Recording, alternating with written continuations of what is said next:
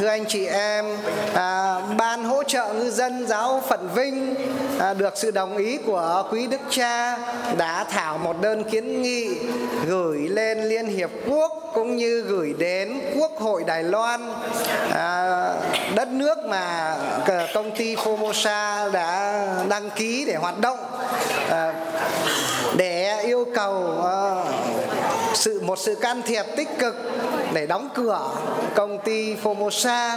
à, nguyên nhân gây nên thảm họa môi trường biển trong suốt một năm qua. Thế cho nên vì lương tâm ngay thẳng và vì à, giống nòi của dân tộc chúng ta mỗi người ờ, hãy ờ, một tay để ký vào bản kiến nghị này. Một người không làm được, hai người không làm được, nhưng nhiều người chúng ta sẽ làm được, thưa anh chị em.